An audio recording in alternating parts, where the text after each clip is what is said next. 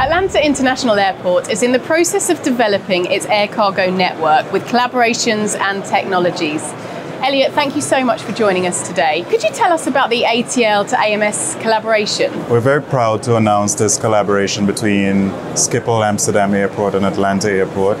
This started uh, maybe three years ago as a result of an MOU signed between the City of Atlanta and the Netherlands government. And the idea is that we wanted to promote a trade and investment logistics corridor. And for that to work, we needed both airports to work together to develop this whole idea of trade corridor. And to be honest, three years ago, we didn't know what that would look like. Today, it's more or less like a virtual integrator.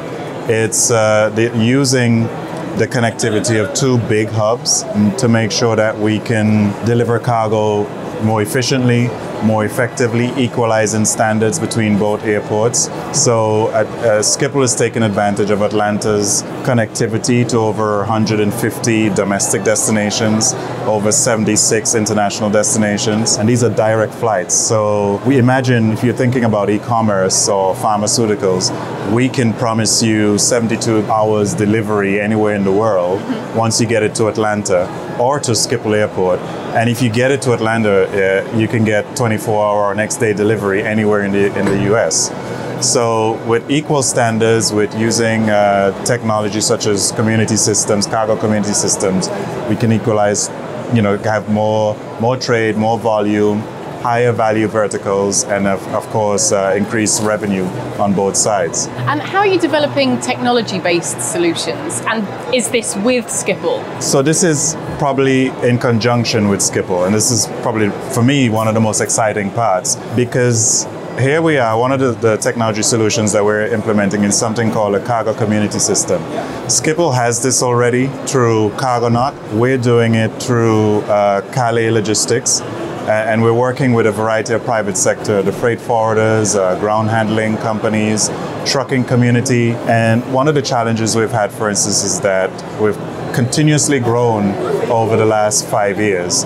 And that presents challenge in itself. Um, we have truck con- congestion that we're trying to deal with. Uh, we've implemented something called Truck Pass, which is a truck uh, waiting area we're using some lower level technology to allocate trucks to dock doors. But today we're introducing the cargo community system with True Calais, which creates this transparency across the supply chain.